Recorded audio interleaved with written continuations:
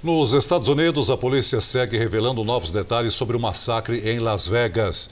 O atirador teria feito buscas na internet sobre outros possíveis alvos e tentou comprar um tipo de munição que tornaria o ataque no último domingo ainda mais letal.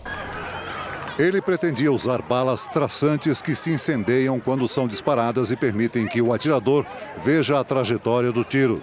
Esse tipo de munição é usada quando a visibilidade é ruim ele só não fez a compra porque o produto estava esgotado.